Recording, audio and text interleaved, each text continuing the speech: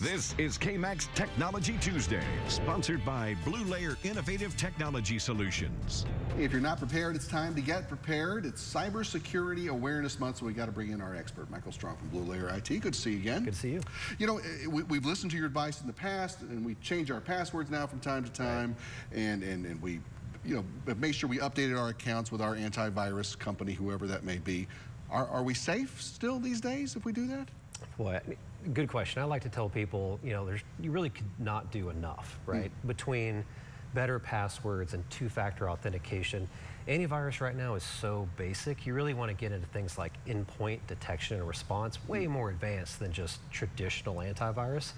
And it's all about layering these things together. But wow, I mean, there's so many threats out there, so many breaches, things of that nature. You really need to have a layered approach. You mentioned the two-factor authentication. Look, yeah. I, I, I, know you said we need it, but I just, I get tired of typing in the code that they text me every time we do that kind of thing.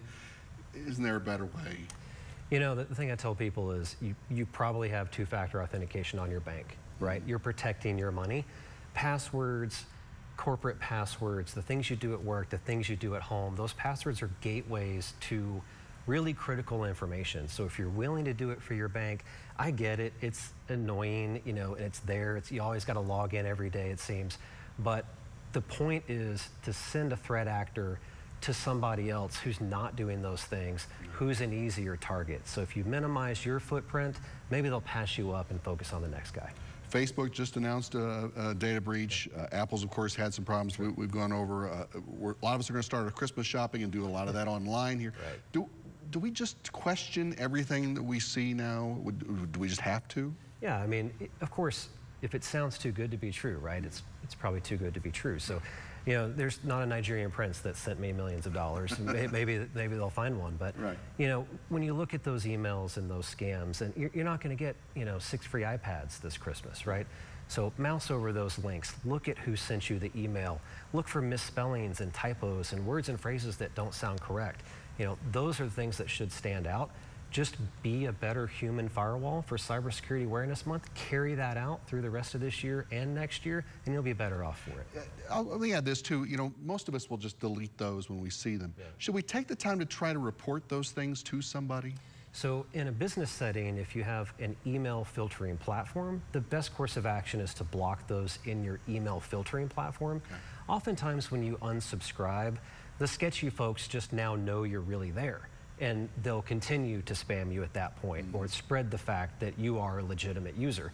If you can block it without unsubscribing, that's my advice. For businesses, we're hearing more and more about cybersecurity insurance that you can you can buy uh, to sort of keep you covered if there's a ransomware problem, a data breach, something like that. Something like that worth it? 100%. It's absolutely worth it. You know, the thing about cybersecurity insurance is the bar continues to move higher and higher. So it is a really good benchmark for businesses to raise their bar to make sure that they have those things to best protect their business.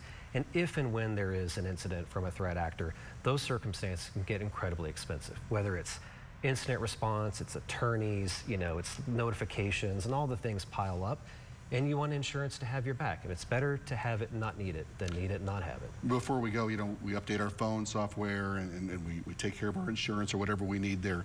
Uh, what about things like routers or VPN that I've had in my office for a while? Do I need to update those and think about that? Absolutely. I mean, if you have a Nest thermostat, even that gets updates. Wow. Your smart TV gets updates. Mm -hmm. So if there's an opportunity to update it, and the time is right and you understand how to back out of an update perhaps if it breaks things in your home, I'm all for it. Do the updates, call a friend, you know, get those updates done. They're there for a reason. Most of the time it's new features. The rest of the time it's to plug some sort of security gap. Keeping you in the business safe. Michael Strong with Blue Layer IT. Good to see you again, my friend. You too. Thanks. Great tips. Thank you.